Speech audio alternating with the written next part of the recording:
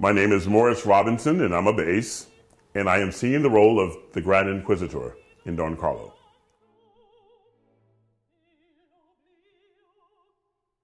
I performed it once once before in Cincinnati Opera back in 2009, so I'm looking forward to readdressing it uh, after having some more familiarity with it and, you know, growing into my voice more and being more experienced on stage. I'm looking forward to it.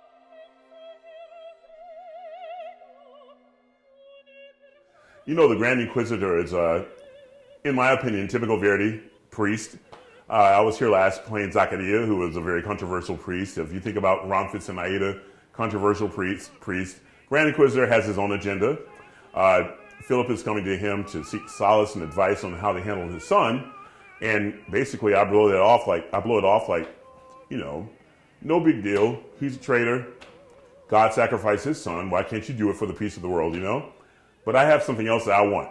so I'm using religion as my weapon to convince him to do what I want him to do. So it's a typical battle of church and state. You know, I have him on the puppet strings and I'm trying to control him. And, and I think, uh, you know, that's part of the drama. That's what makes it great drama, you know?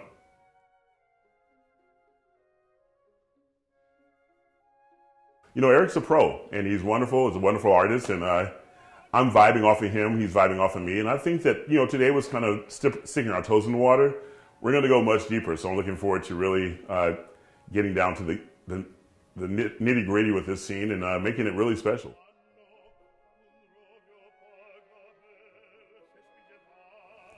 My favorite musical moment in the opera, I hate to say it, but it's this scene. It's the scene between the Grand Inquisitor and King Philip. I mean, I've watched Paul Plishka and Jerome Hines do it. I watched uh, James Morris, who was my first uh, uh, King Philip, do it with Sam Ramey. I mean, I've watched them all, you know, Nicolai Ghiaurov. I've, this scene is just, when the music starts, it's just intensity off the top, you know, and if you can't get amped up for this when you hear that first boom, boom, no, if that doesn't get you going, you might as well leave, you know?